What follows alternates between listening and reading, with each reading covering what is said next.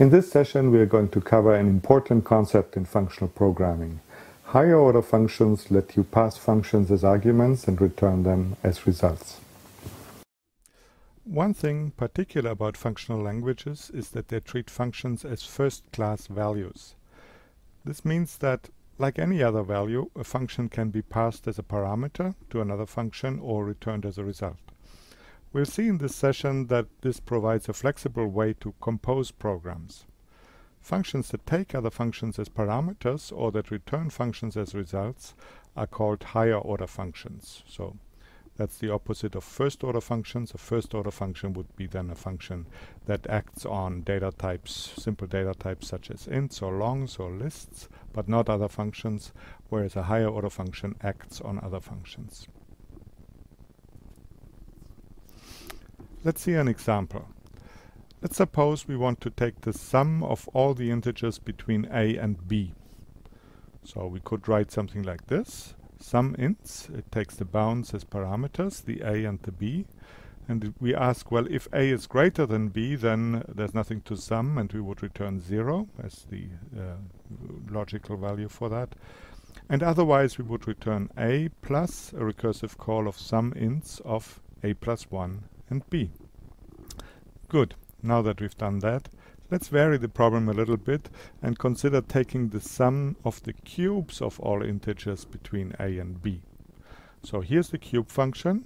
Take an x, return x times x times x.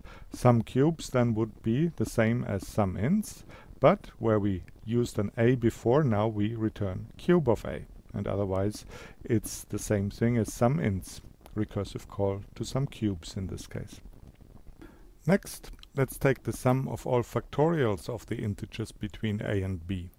Well, you see the principle by now. The program again is exactly like sum ints and sum cubes, except that where previously we computed the cube, we compute the factorial.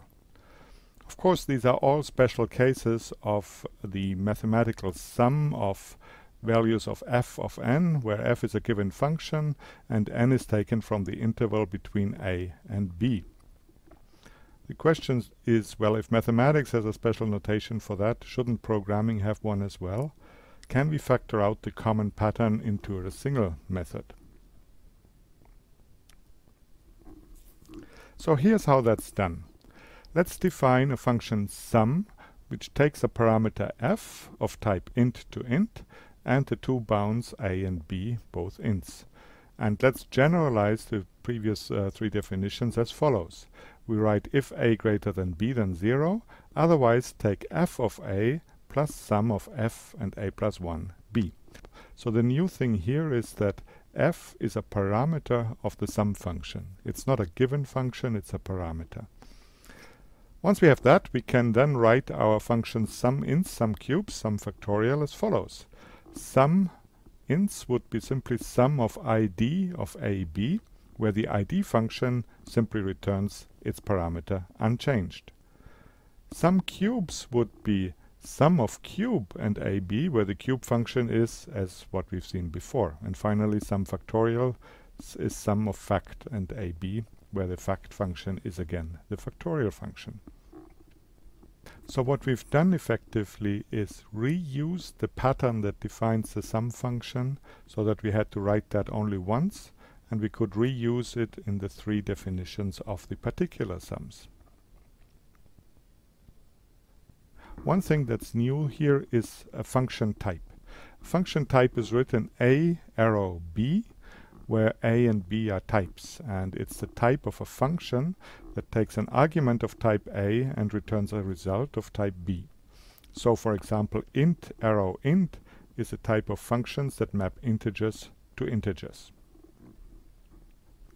Looking at the previous example again, we have successfully shortened the definition of sum ints, sum cubes, sum factorials, but there's an annoying detail. We had to name all the little auxiliary functions that we do here. So we've gained some uh, program code here, but we spent more in the definition of all these auxiliary functions. So we've seen that passing functions as parameters can lead to the creation of many small functions and sometimes that's tedious. Compare the situation to other types such as strings. We could write something like def str equals abc and then println str, but we don't have to. We can just as well write println abc directly, and that's because strings exist as literals. Since functions are important in our language, it makes sense to think of introducing literals for functions as well. And that's what we do next. These literals are called anonymous functions because they do not have a name. So here's how we write the anonymous functions. As an example, let's consider the function that raises its argument to a cube. That would be written as you see here. So it takes a parameter x of type int, and then there comes an arrow, and then comes the value of the function, in this case, case x times x times x. So x colon int is the parameter of the function, and on the right-hand side of the arrow is the body. In fact, the type of the parameter can be omitted if the compiler can infer it from the context. And if you have several parameters, you can write them in a list separated by commas. So for instance, that function here, what would that be? Well, yes, the summation function, so it would take two integers, x and y, and give you the sum of x and y. You could ask, are anonymous functions essential for Scala, just as, let's say, conditionals or value definitions are essential? Or can they be defined in some other way? It actually turns out that every anonymous function can be expressed in some other way using a def. So let's say you have an anonymous function with n parameters, x1 to xn, and a body e.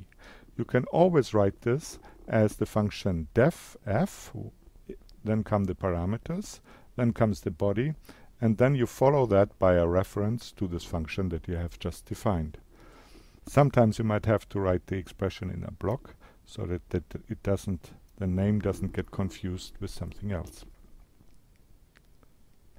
Because we can always rewrite anonymous functions, we can therefore say that they are syntactic sugar. They make writing functions sometimes easier, but they're not essential in the sense that they do not add anything to the fundamental expressive power of the language.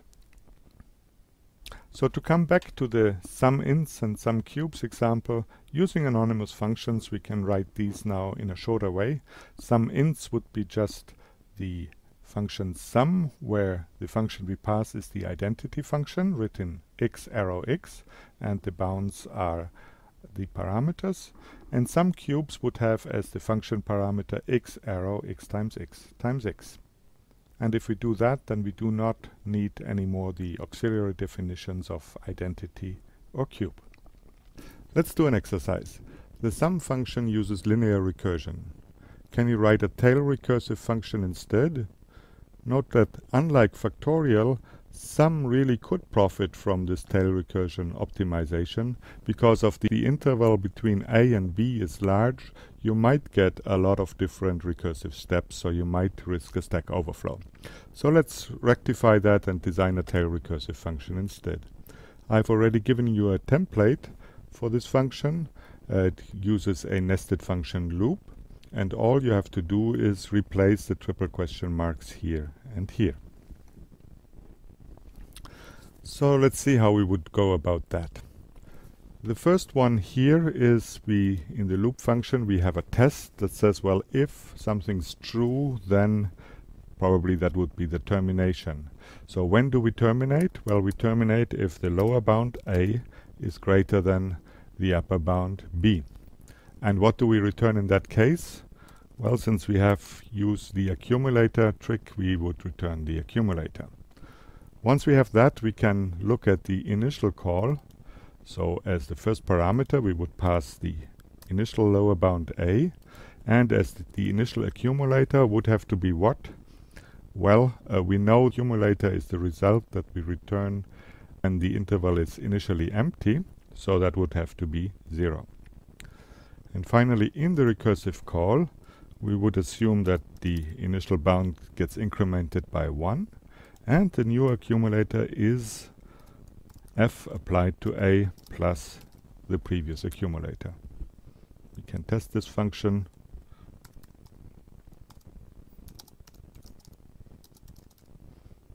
Let's apply this function to lower bound 3, upper bound 5.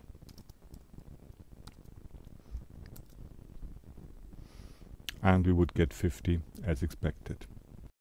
You have seen higher order functions as essential building blocks of functional programs. In the next session we are going to play a little bit more with higher order functions and introduce new ways to express them.